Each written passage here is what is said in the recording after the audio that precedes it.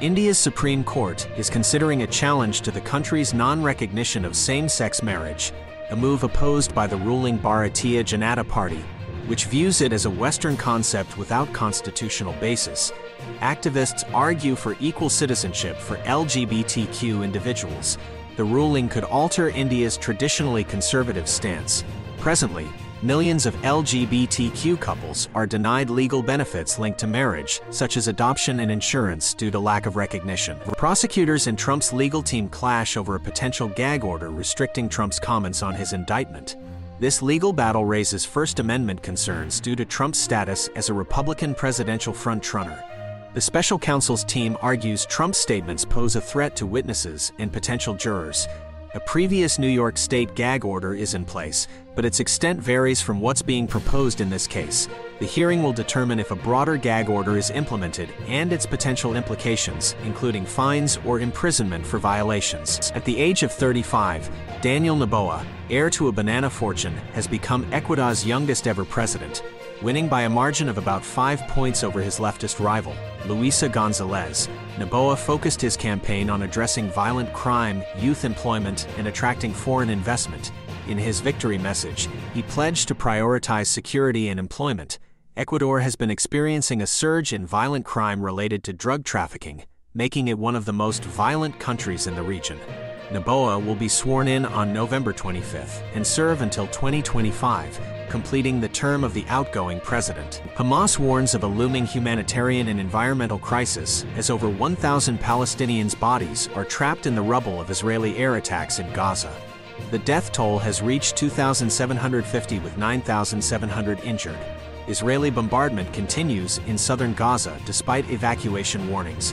Hospitals are struggling as fuel runs out, and a total siege by Israel cuts off essential supplies. Israeli airstrikes have persisted since Hamas fighters entered Israel on October 7th, killing many and capturing dozens. Global oil prices slightly surpassed $91 a barrel due to escalating tensions in the Middle East, primarily the Israel-Hamas conflict. The market fears a broader conflict that could disrupt oil supply and impact global markets.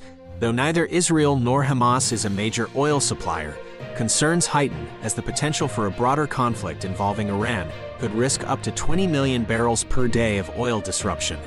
ANZ Research predicts oil prices could reach $100 a barrel in the short term due to regional escalation risks. Analysts report a 4.5% sales dip for iPhone 15 in China's first 17 days compared to iPhone 14 last year. Huawei's aggressive competition and consumer demand weakness are cited as factors, Huawei has surpassed Apple as the top-selling smartphone manufacturer in China. Apple faces challenges, including bans on iPhones for government use and a culturally tarnished image. However, robust domestic sales in the US may offset the Chinese downturn. Apple's quarterly earnings report, expected on November 2nd, will shed light on iPhone 15's impact. Israel refutes claims of agreeing to a ceasefire for humanitarian aid access and foreign exits from southern Gaza. Prime Minister Benjamin Netanyahu's office issued a statement rejecting the reports following discussions involving Egypt and the U.S. Israel's military efforts continue against Hamas after the October 7th cross-border attack, prioritizing civilian safety amidst an anticipated ground operation. International efforts to facilitate aid delivery and evacuations at the Rafah border crossing with Egypt are ongoing, aiming to alleviate the crisis in Gaza. Joseph M. Czuba, a Chicago landlord, faces murder and hate crime charges for fatally stabbing a six-year-old boy and injuring his mother, reportedly due to their Muslim faith. The victims of Palestinian descent were targeted based on ongoing Middle Eastern conflicts. President Biden and First Lady expressed shock over the attack, denouncing hate and bigotry. The Justice Department initiated a federal hate crime investigation. The tragic incident heightens concerns within Muslim and Palestinian communities. Israel's military readiness responds to recent Hamas attacks. Illinois officials and communities unite against such hatred. Florida Governor Ron DeSantis greeted 270 American passengers, including 91 children, arriving in Tampa from Israel.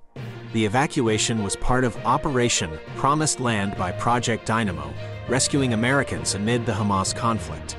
Governor DeSantis' executive order allowed the Florida Division of Emergency Management to coordinate evacuations and transport supplies. The order aims to assist over 20,000 stranded Americans, including Floridians, in Israel.